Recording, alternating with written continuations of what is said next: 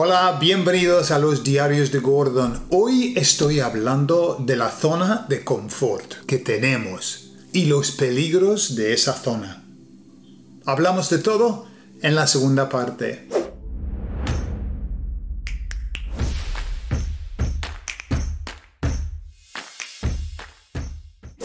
Casi es cliché, ¿no? Hablar de la zona de confort todo el mundo habla y dice, no, no, estoy fuera de mi zona de confort. ¿Por qué? Porque es algo que notamos todos los días. Cuando estamos haciendo algo, si estamos cómodos, bien, estamos bien.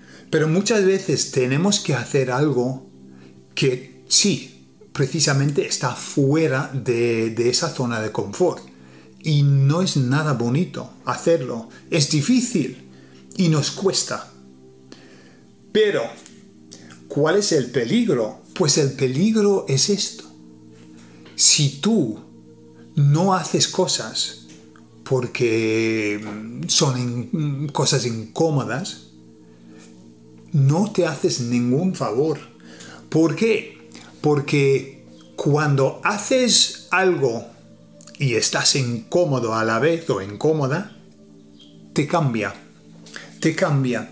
Tu zona de confort se expande. ¿Vale? Pero, ¿para qué? ¿Para qué expandir la zona de confort? Porque dicen los expertos, yo no, los expertos, dicen que la zona, nuestra zona de confort, o se está expandiendo o se contrae. ¿Vale? Entonces nunca, nunca se queda parada esa zona. Siempre está en movimiento. Y claro, si tú todo el rato te quedas dentro de, de tu zona de confort, ¿qué pasa? La zona se hace más pequeña cada vez se hace más pequeña. ¿Y qué pasa?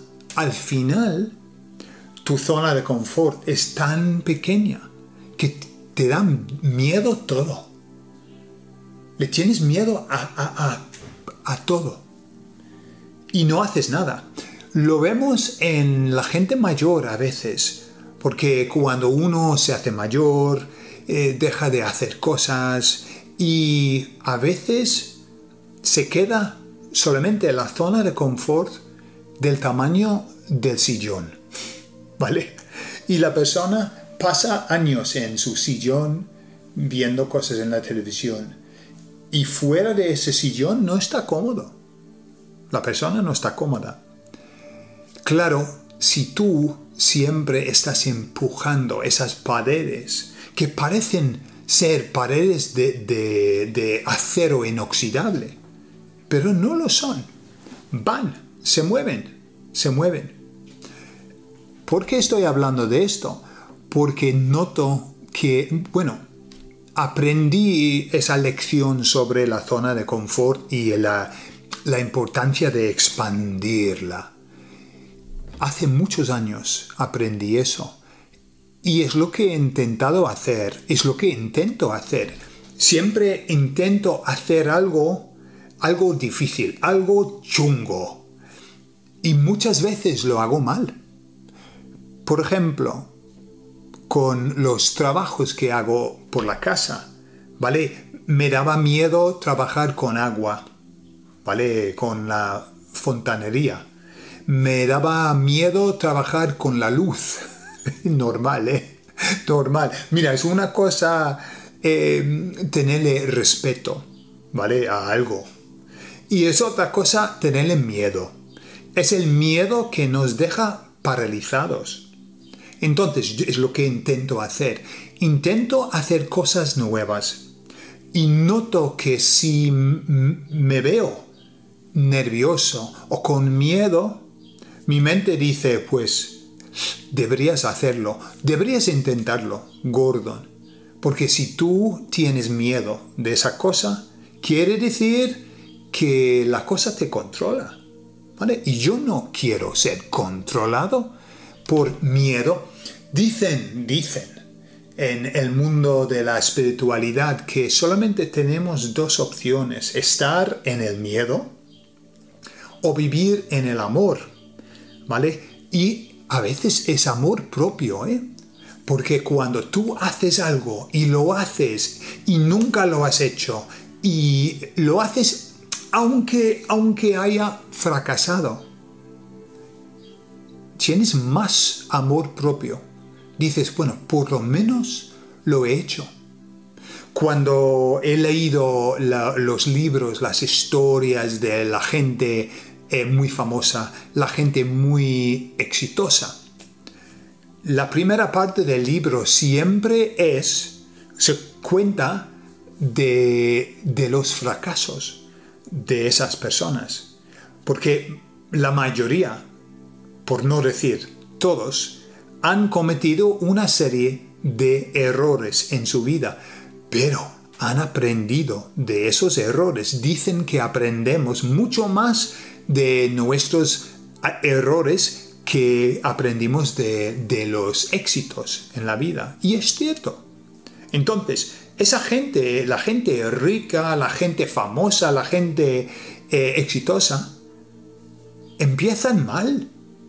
Empiezan, empiezan mal. Y a veces más tarde también cometen los mismos errores otra vez.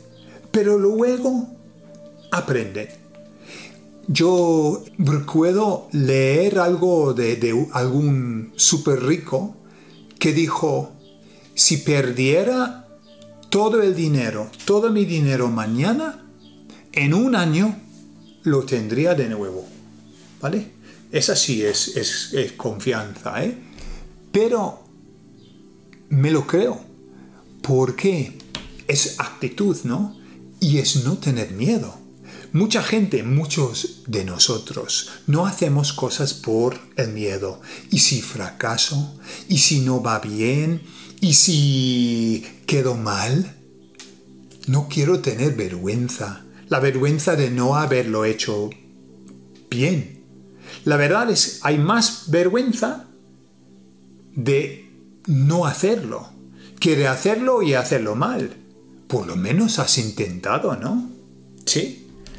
Eh, una persona muy famosa dijo, nunca te rindas, nunca te rindas, nunca te rindas. Never give up, never give up, never give up. Y es cierto, es cierto, creo que es una actitud que necesitamos un poco más en este mundo. ¿Qué opináis vosotros? Que deberíamos tener un poco más de, de confianza en nosotros mismos, ¿no? Deberíamos correr riesgos un poco más. Porque, y no estoy hablando de hacer algo físicamente eh, dañino, no, estoy hablando de correr un riesgo y, y lanzarte, hacer algo, ¿no? Porque la vida, según dicen, Solamente esta vida, por ejemplo, viene una vez y tenemos tiempo limitado. Así que si estamos esperando, voy a esperar para hasta que venga el mejor momento. El mejor momento nunca viene. Nunca viene. Hay que actuar ya. ¿No? Pero antes de actuar hay que hacer la tarea, ¿no? Hay que educarse hay que saber, por lo menos. Y sabes, lo que hago yo, si quiero hacer algo, me pongo en YouTube y veo todos los vídeos hablando de eso y por lo menos tengo una idea. Mm, busco en internet. Hay, siempre hay gente que quiere ayudarte. Es increíble estos días. Entonces, como dicen, si alguien lo ha hecho antes, tú lo puedes hacer. Y si nadie lo ha hecho, tú puedes ser el primero en hacerlo, ¿no? Así que es la hora de hacer algo nuevo. Ponerte incómodo o incómoda o incómodos o incómodas. Depende del grupo. Y hacer algo, ¿no? ¿Por qué no? ¿Qué tenemos que perder? Nada. tiempo. Bueno, ¿qué opináis? ¿Estáis de acuerdo conmigo o tenéis otras opiniones sobre eso? Me gustaría leer las opiniones en los comentarios. Bueno, hasta luego chicos, os quiero mucho.